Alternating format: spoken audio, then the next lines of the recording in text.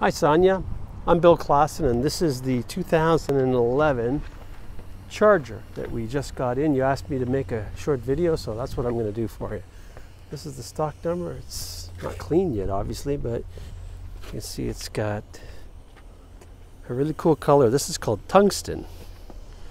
Uh, the tires look okay. It's got aluminum rims. And looks like it has a remote start button. Ambiance sensors with keyless entry. And these are the kilometers, one, three, three, four, four, three.